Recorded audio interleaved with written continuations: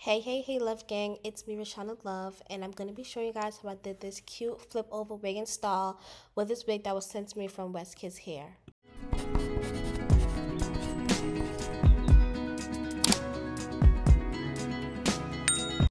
Hello once again, this video is sponsored by West Kiss Hair. They sent me over this beautiful 24 inch, 200 density curly wig when I say this wig is so thick and beautiful, I'm in love. For glue, we're using my glue, which is called Love Stuck. And I got I went in with only one layer of this just for this video, but the hold is extremely strong. So I'm gonna go ahead and apply that to my hairline, not my hairline, my forehead, and spread it out with the popsicle stick. And now I'm gonna begin to apply the lace and hold it down on one side as I'm pulling the other side to allow the glue to set in. Um, back to this unit. This unit is so perfect. I barely even had to pluck this wig because it just came so. It, it came the hairline came so pre-plucked i barely had to pluck anything and i really love that about this all i did was bleach the knots i did a little bit of plucking but it really didn't require plucking at all i just did extra plucking just because and right now i'm just making sure that the glue dries by tying it down with an elastic band, letting it dry for a little bit. And once I take the elastic band off, I'm going to go ahead with this small scissors that I got from Amazon and begin to cut off the wig, cut off the excess lace. Um, as you guys can see, the quality of this wig is amazing. Like the lace, everything was just perfect. I love it so much, and this this is definitely a wig I would recommend. I will rant rave about this wig because it's just so amazing and I'm really jamming right now. This was like so late at night. I was playing my music and getting these promos done to melt the lace. And I'm going to go with my product once again, which is called Love Melt, and begin to apply it with a Q-tip. But the Q-tip was taking too long, so I did end up using my fingers after a while. I don't know if I left that part in, but yes, you guys. Um, once I'm tying, once I'm allowing the Love Melt to dry, I go ahead with my Love Sleek and place that onto the hair and use my hot comb to sleek everything out. All these products that I'm using to install this wig can be purchased directly from me. Um, the products are not completely dropped yet. It will be really soon. I just have to organize a few things, get everything in order before I start selling it to the public.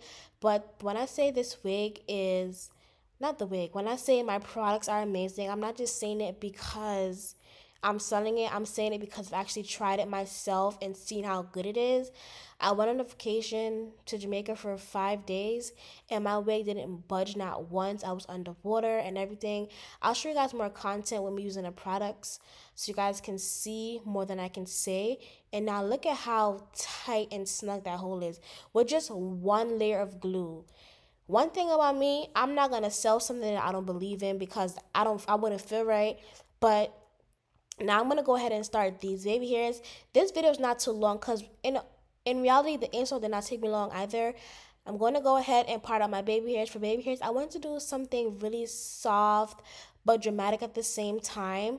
Over here, the it looks kind of weird because when I applied the lace, I did smash my fingers into the lace a little bit too much and the glue ended up seeping through the lace. But I'm gonna make I'm gonna make it work. This is just an example of what not to do. Like be a little bit more gentle when applying your um, lace to the glue. Pardon out the baby hairs using this comb and if you guys look close you guys can see the ball cap underneath because I didn't melt it down for the simple fact that I didn't plan on keeping this insulating for long. It still looked good but it is noticeable if you look close cut the baby hairs short using that same scissors and then I'm going to go ahead and curl the baby hairs using my skinny flat iron from Amazon. There's no there's no specific brand for this um, flat iron. You can literally go on Amazon and type in skinny skinny flat iron and whatever one pops up that's the that's the most budget friendly for you, you can just go ahead and purchase it. Now to start the baby hairs, I like to just go ahead and just form it without product and with product, just form it without product at first. And then once I like how it's coming out, I'm going to go ahead and take some of the black even spray and begin using it to sleek my baby hairs. As you guys can see right here, I'm realizing it's way too long. So I'm going to go back in afterwards, as you guys can see, and cut it and pluck it some more. Baby hairs are really just something we could let free. It's basically on preference. I really, really, really wanted that free, flowy, soft, but fluffy look I love how baby hairs like this looks, guys. And you just have to go back in. You have to keep cutting, keep plucking until you get it to how you want. Um, when this, when I was done with this, you guys, I was in love. Like I love this so much, and it sucks because I had to do another video after this, so I didn't keep it in for long. But through it all, I love how this came out. And as I was saying about my products, I literally went to Jamaica for five days and my wig did not move. I was underwater, my wig did not move. Don't get me wrong, the front definitely did lift, like the very front of it, but that's a quick, simple fix. And that only happened after I got into the water. So I'm gonna do some more testing with the glue though before I officially start before I officially start selling it. I'm gonna do more testing with it. You know, make more content about it so people can know I'm not just talking about a product because I'm selling it. That I'm actually using the product and actually believe in the product.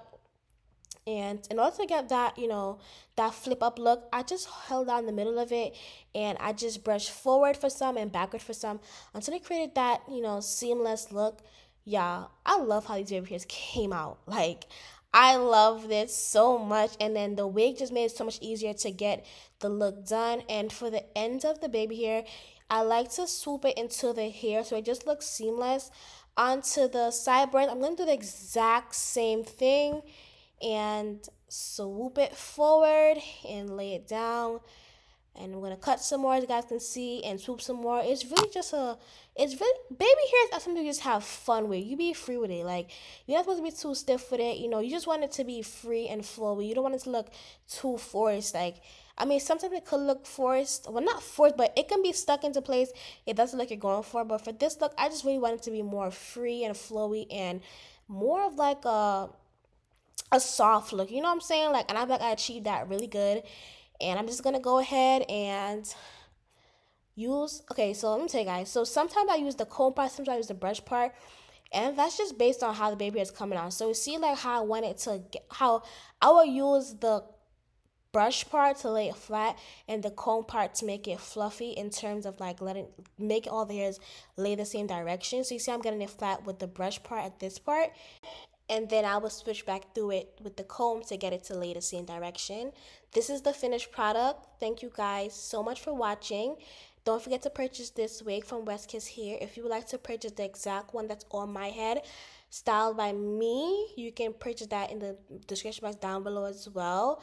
Um, I am going to be selling all my promotional wigs at a low price because most of them I only wear for like a couple hours and take it off. Thank you guys for watching once again. I'll see you guys in my next video.